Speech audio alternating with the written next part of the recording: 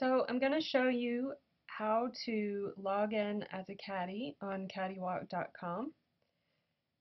I'm first going to go to the home page and I'm just going to click here on caddy login and that's going to take me to the login dashboard and I've got my email address over here stored. I'm going to put in my email address and I've got my password over here and anytime that you're a caddy on caddiewalk.com, you would be you would already be assigned a login email and password. So you should have that information in front of you and just keep it handy.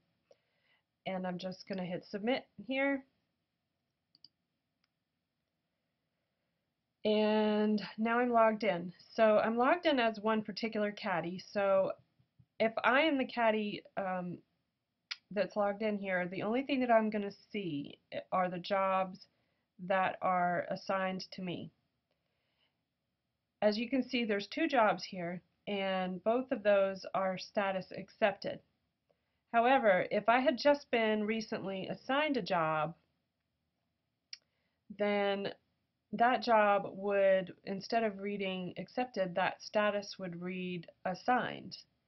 And it would be in a different color, so I'd immediately be able to see that I need to, to check that job.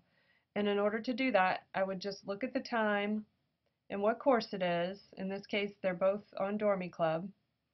And what type of job it is. And any notes that are uh, that are pertaining to that particular job, just check it out. And then if I decide that this is a job I want to take, I would just click on the date here. And it would ask me if I wanted to accept or reject the job. However, in this case, this job's already been accepted. A few other things about the dashboard, uh, the caddy dashboard that I want to point out are anything that's in orange right here is a note from the caddy manager. So he can change that at any time on on his end and it will show at the at the top in orange for every caddy in the caddy management system.